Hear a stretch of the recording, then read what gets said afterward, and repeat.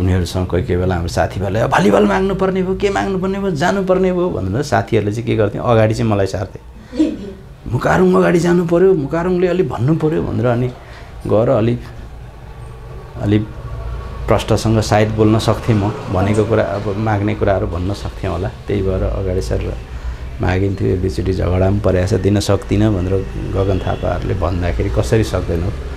भनेर सबैकै ढोकासोका थुनिएको पनि छ होइन? माध्यमिक तहमै पनि म त्यस्तो पढाइमा ध्यान दिएर पढ्नुपर्छ भन्ने विद्यार्थी होइन। तर असफल हुने विद्यार्थी पनि होइन। खेलकुदतिर भएदेखि गीत सङ्गीतको क्षेत्रको मान्छे भएदेखि अलिक बढी सम्झनायोग्य घटनाहरू हुने रहेछन् होइन? अब त्यो खेलकुद पनि थिएन आफ्नो गीत सङ्गीत पनि त्यति बेला थिएन। एकदम लिटरेचरमा मात्रै थियो अनि अब लिटरेचरमा मात्रै ध्यान दिने कुरा भनेपछि त्यस्तो अनि कलेज धाइरहनुपर्छ गइरहनुपर्छ भन्ने पनि लागेन। मेरो चाहिँ अब तत्कालीन चाहिँ भोजपुर जिल्ला दिल्पा गाउँ। दिल्पा गाउँमा चाहिँ दुईवटा गाउँ पञ्चायतहरू थियो नागी र अन्नपूर्ण। अनि मेरो घर चाहिँ नागीमा तर अन्नपूर्णमा मात्रै मावि थियो। त्यही पनि म दुई कक्षादेखि नै अन्नपूर्णमै पढेँ। नागीमा पढिनँ। दुई हजार पचास सालमा चाहिँ मैले अन्नपूर्ण माध्यमिक विद्यालयबाट एसएलसी पास गरेँ। स्कुल लाइफमा त्यस्तो मेहनत गर्ने पढ्ने अथवा सरले दिएको होमवर्क गर्नै पर्छ अथवा भोलि सरहरूको अगाडि बोल्नै पर्छ एकदम राम्रो विद्यार्थी देखिनै पर्छ भन्ने खालको पनि थिइनँ म। मेरो आफ्नै अब सृजनात्मक एउटा बाटो थियो। आफ्नै काममा बढी लगनशील चाहिँ बढी त्यता हुन्थेँ पढ्नेमा भन्दा पनि। र के पनि फेरि कन्फिडेन्ट थियो भने म एसएलसी फेल हुन्छु भन्ने थिएन। म पास गर्छु नै भन्ने थियो। हाम्रो पालामा हामीले सेन्ट अफ टेस्ट सतासीजनाले दिएका थियौँ के अरे हाम्रो कक्षामा चौतिसजनाले सेन्ट अफ टेस्ट गऱ्यौँ। चौतिसजनाले एसएलसी दिँदाखेरि हामी छजना पास गरे हो।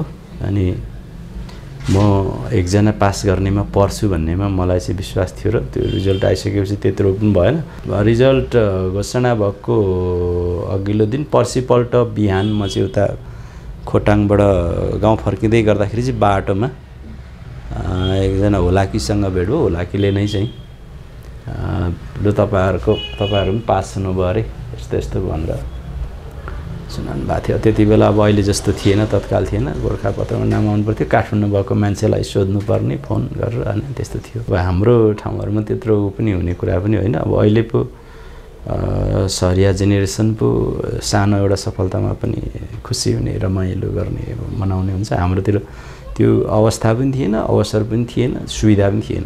आइए आइए पढ्न चाहिँ भोजपुरकै क्याम्पस भोजपुर क्याम्पसमा गएँ। एक वर्ष मात्रै पढेँ। त्यस पछाडि म खोटाङमा टिचिङ गर्न थालेँ होइन? नियमित क्लास गइनँ माध्यमिक तहमै पनि म त्यस्तो पढाइमा ध्यान दिएर पढ्नुपर्छ भन्ने विद्यार्थी होइन। तर असफल हुने विद्यार्थी पनि होइन होइन? नर्मल्ली अब क्लासमा सरहरूले भनेको कुरालाई जति दिमागमा राखिया छ त्यति नै प्रस्तुत गरेरै अब पास गरेको पार गरेको होइन? र मेरो कलेजको पनि त्यही भयो। कलेजमा एक वर्ष मात्रै मैले फर्स्ट इयर मात्रै नियमित जस्तो क्लास गएँ सेकेन्ड इयरदेखि त म टिचिङ गर्न थालिहालेँ। त्यहाँदेखि त उही एक्जाम दिने मात्रै भयो। त्यस्तो अब कलेज लाइफ पनि के हुँदो रहेछ भने खेलकुदतिर भएदेखि गीत सङ्गीतको क्षेत्रको मान्छे भएदेखि अलिक बढी सम्झनायोग्य घटनाहरू हुने रहेछन् होइन? अब त्यो खेलकुद पनि थिएन आफ्नो। गीत सङ्गीत पनि त्यति बेला थिएन एकदम लिटरेचरमा मात्रै थियो अनि अब लिटरेचरमा मात्रै ध्यान दिने कुरा भनेपछि त्यस्तो अनि कलेज धाइरहनुपर्छ गइरहनुपर्छ भन्ने पनि लागेन होइन? र कलेजलाई त्यत्रो महत्त्व पनि दिएन। म एक वर्ष पढ्दा पढ्दै के भयो भने आखिरी पढ्नुपर्ने कुरा जे तल पढिएको छ त्यही कुरालाई अलिकति फराकिलो गरी पढ्नुपर्ने मात्रै रहेछ भन्ने कुराहरू पनि ज्ञान भयो। त्रिचन्द्र कलेज पढ्दा त झन् अब पूर्व मेचीदेखि पश्चिम महाकालीसम्मका साथीभाइहरू बने त्यही हो चिन्जान गर्ने रमाइलो गर्ने आफ्नो किसिमको अब नेचर सुदूरपश्चिमको मान्छेले एउटा आफ्नो किसिमको बोली लवज लिएर आउँछ आफ्नो किसिमको उसको एस्थेटिक भन्छ हामी पूर्वकले आफ्नै किसिमले भन्छौँ गण्डकीले त्यसरी भन्छ होइन? काठमाडौँकोले यहाँको रैथानेले आफ्नो किसिमले भन्छ। त्यसो गर्दै गर्दै तिस पैँतिसजनाको समूह राम्रै समूह चाहिँ बन्न चाहिँ बनेको थियो हाम्रो होइन? त्यसमा कोही राजनीति गर्ने थिए कोही खेलकुदका थिए कोही भने भलिबल भनेपछि हुरुक्कै हुने कोही तेक्वान्दो भनेपछि हुरुक्कै हुने होइन? साथीहरू थिए। जस्तो जस्तो मिङमा शेर्पा भन्ने एकजना साथी हुनुहुन्थ्यो महिला साथी हुनुहुन्थ्यो हाम्रो ग्रुपमा। उहाँ टेक्वान्दोमा ब्ल्याक बेल्ट नै हुनुहुन्थ्यो होइन?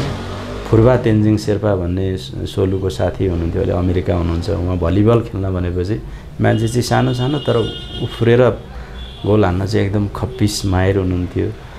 मिलन घिमिरे भन्ने झापाको एकजना साथी हुनुहुन्थ्यो। उहाँ अहिले थाइल्यान्डमा हुनुहुन्छ। बिजनेस गरेर बसिरहनु भएको छ थाइल्यान्डमै होइन?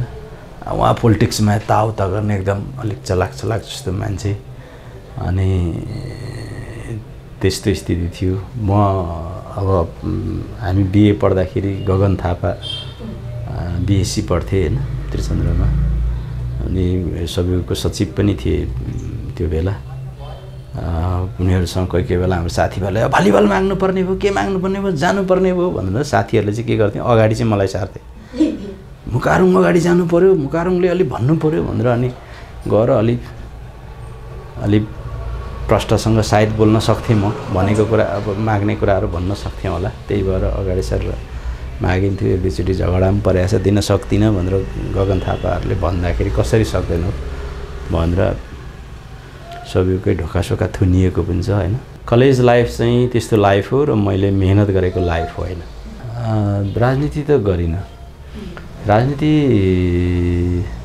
गरिनँ भन्दाखेरि अब खुलेर राजनीतिक रूपमा पार्टीको कार्यकर्तै भएर हिँडिएन तर राजनीति आफ्नो किसिमले गरियो। आफ्नो किसिमले को साथीहरू उठाउने को साथीहरूलाई बाघी हान्नु लाउने को साथीहरूलाई आधिकारिक मान्ने कसलाई जिताउने कसलाई हराउने भन्नेमा चाहिँ पोलिटिक्स आइए पढ्दा पनि गरियो भोजपुर क्याम्पसमै पनि गरियो त्रिचन्द्रमा आएपछि पनि गरियो। पोलिटिक्स त म अहिले नै पनि गरिरहेकै हुन्छु होइन? हर समय गरिरहेकै हुन्छु तर आफ्नै किसिमको पोलिटिक्स गरिरहेको हुन्छु होइन भोजपुर पढ्दाखेरि भोजपुरमा त अब धेरै कविता प्रतियोगिताहरू भइरहन्थ्यो।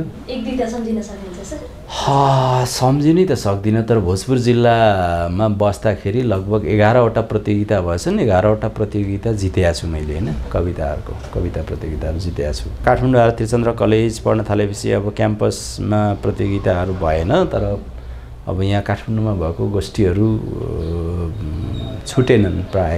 गोष्ठीहरूमा सहभागी भइयो नै। आफ्नो किसिमको उपस्थिति जनायो आफ्नो किसिमले गरियो अब। मैले भनिहालेँ मेरो मलाई अहिले तपाईँहरूले सोध्नु तपाईँको सर्टिफिकेट कति भन्नु पाँच कक्षाको पनि छैन भनिदिन्छु म। किनभने मलाई अहिले सर्टिफिकेट सम्बन्ध र यो बारेमा मलाई बोल्नै मन छैन। मलाई किनभने न यो सर्टिफिकेटले मलाई खाना दिन्छ न यो सर्टिफिकेटले मलाई लाउन दिन्छ। मलाई मेरो स्किलले मात्रै रहेछ होइन? खाना दिने लाउन दिने त सिपले रहेछ है? मलाई मेरो आमाले जहिले भनिरहनुहुन्थ्यो सानोमा पनि। रूप राजा सिप कमारा होइन? त कमाराहरूले चाहिँ खानु पाउँछ। जसले कमारा भएर काम गर्छ होइन त्यसले चाहिँ खान पाउँछ त्यसले चाहिँ भोको बस्नु पर्दैन। सबैभन्दा ठुलो त भोक न हो भोकसँग न हो मान्छेले लडेको भनेको त होइन। त्यसो भोकसँग लड्नको लागि चाहिँ हाम्रो नेपालको तपाईँको शैक्षिक जुन एउटा ऊ छ पाठ्यक्रमहरू छ त्यसले दिन्छ जस्तो मलाई लाग्दैन। त्यस कारण मानिस जति हाम्रो नेपालको विश्वविद्यालयहरूमा मानिस थुप्रेका छन् त्योभन्दा धेरै पर मानिसहरूले विज्ञता हासिल गरेका छन् अनुभवहरू प्राप्त गरेका छन् ज्ञानहरू छ। त्यो ठुलो विश्वविद्यालय छ सोसाइटीको। त्यो सो त्यो त्यो विश्वविद्यालय चाहिँ पढ्नुपर्छ भन्ने भयो र पछिल्लो समय मैले चाहिँ पढाइको बारेमा भर्स गफै नगरौँ भन्ने पक्षमा हुन्छु जम्मा जम्मी दुईवटा पिकनिक गइयो होला भोजपुरमा पढ्दा एउटा पिकनिक गयो काठमाडौँमा पढ्दा एउटा पिकनिक गयो माथि ककनी गइयो होला भोजपुरमा पढ्दा माथि सुन्तले। दुई ठाउँ गयो अब त्यो मेरो नेचरको कुरा गर्नुहुन्छ भने त्यो सानैदेखि मेरो एउटा नेचर के हो त भन्दाखेरि भनेको मलाई ढकमक्क फुल फुलेको देख्दाखेरि आहा कहिले पनि भएन। इन्द्रेणी लाग्यो कहिले आहा भएन। हिमाल ढक्कै देखियो आहा कहिले पनि भएन होइन? अथवा झरना देखियो आहा कहिले पनि भएन। छाँगा देखियो कहिले पनि भएन। त्यस्तो आहा भन्ने मलाई जीवनमा भएन। होइन? मैले आहा भन्ने नै मैले कहीँ लेखेको पनि छु। मैले जीवनमा सबैभन्दा साह्रै आहा र आनन्द फिल गरेको भनेकै कतारमा जाँदाखेरि त्यो जमेलिया मरुभूमि। मरुभूमिमा चाहिँ त्यो बालुवामा यसरी आफ्नो त्यो श्रीजङ्गा लिपिमा नाम लेख्दा। आफ्नो नाम लेख्दा। श्रीजङ्गा लिपिमा आफ्नो नाम चाहिँ त्यो बालुवामा लेख्दा त्यो मरुभूमिमा। जिन्दगीमा सबैभन्दा सुखद सुख फिल गरेको आनन्द र आहा फिल गरेको चाहिँ मैले त्यहाँ मात्रै हो। त्यस पछाडि मलाई के भयो भन्दाखेरि भनेको त्यो कतारबाट फर्किसकेपछि एक दुई महिनासम्म पनि त्यो कुराले मलाई छोइरह्यो। छोइरहेपछि त्यति बेला चाहिँ मलाई के म यति धेरै रुखो मान्छे रहेछु। होइन मलाई तालले पनि नछुने झर्नाले पनि नछुने छालले पनि नछुने अनेक पहाड हिमाल यस्तो छाँगा केहीले नछुने। फुलेको कुराहरूले पनि नछुने तर मरुभूमिको त्यति कुराले चाहिँ छुने होइन? भनेर भने पछि त्यस पछाडि त्यो फिल गरेँ त्यति रुखो मान्छे रहेछु। अनि मैले मन पराएका रुखहरू पनि पछिल्लो समय मलाई एस्थेटिकल्ली भन्दा पनि मलाई मरुभूमिमा टिकेका रुखहरू क्या बाँचेका बोट बिरुवाहरू जस्तो सिदरहरू भन्नुहोस् जस्तो तपाईँको क्याक्टसहरू भन्नुहोस् होइन? अनि त्यो उनीहरू यस्तो मजाले त्यो मरुभूमिमा पनि बाँचिरहेछ भनेपछि समथिङ केही चिज चाहिँ त्यो हो भन्ने खालको एक खालको त्यो फिल हुन्छ भनेपछि म अलिक एक्स्ट्रा पाराले सोध्छु होला एक्स्ट्रा पाराले गर्छु होला र त्यो पिकनिकहरूले पनि मलाई छुएन। साथीभाइहरूले बोरै मान्थ्यो मलाई होइन? म हङकङ जाँदा साथीहरूले घुमाउनलाई कति बिदा लिली मलाई घुमाउनलाई उ गर्नुभयो तयार हुनुभयो मैले कहीँ पनि आहा नभने साथीहरू नै भिड बेलायतमा त्यस्तै भयो होइन? कोरियामा त मैले मलाई घुमाउनु पर्दैन नै भनेर भनेको त्यही पनि एक दुई ठाउँ लाग्यो तर म त्यही भएर म अलिक अलिक फरक छु होला अलिक पर छु होला जस्तो लाग्छ। मेरो सोच्ने तौर तरिकाहरू अनि त्यहाँदेखि क्वेसन गर्ने। त्यो चिज पनि हो र। भनेर भन्ने त्यो खालको क्यारेक्टर बनेको हुनाले अब होला अब यसो एक दुई झमड त बिर्सनै नसक्ने भनेको चाहिँ पिकनिक सिक्निक भन्दा पनि बाग बजारमा एकचोटि हामी हाम्रो टोली नै बिस एक्काइसजनाको टोली नै एक ठाउँ चिया खान आयौँ कलेजबाट आयौँ। बाग बजारमा चिया पसलमा बस्यौँ। त्यस्तै गफ गरिँदै थियो। अब हात हल्लाउँदै गफ गरिँदै थियो होला। त्यो अनि पुरै अब रमाइलो गफ छाँटिँदै थियो होला भनौँ न एउटा ढङ्गले। यसरी हात हल्लाउँदै गर्दा चाहिँ पछाडिबाट त्यो ट्रेमा चिया ल्याउँदो रहेछ। त्यो हातले त्यो गर्दा चाहिँ त्यो त्यो चिया चाहिँ सबै पोखेर त्यो सिसाको ग्लासहरू झराम झुरुम फुट्दाखेरि चाहिँ त्यो त्यो खालको बनेको। त्यो कुरा हो। मैले त्रिचन्द्र कलेज पढ्दाको सम्झिरहने दृश्य र सिन त्यति मात्रै छ। त्यहाँदेखि अरू केही पनि छैन होइन? म मावि नौ कक्षा पढ्दा आठ कक्षा पढ्दा पढ्दै बिहा गरिसकेको हुनाले होइन मेरो लाइफै अर्कै थियो होइन? त्यही भएर पनि भयो होला।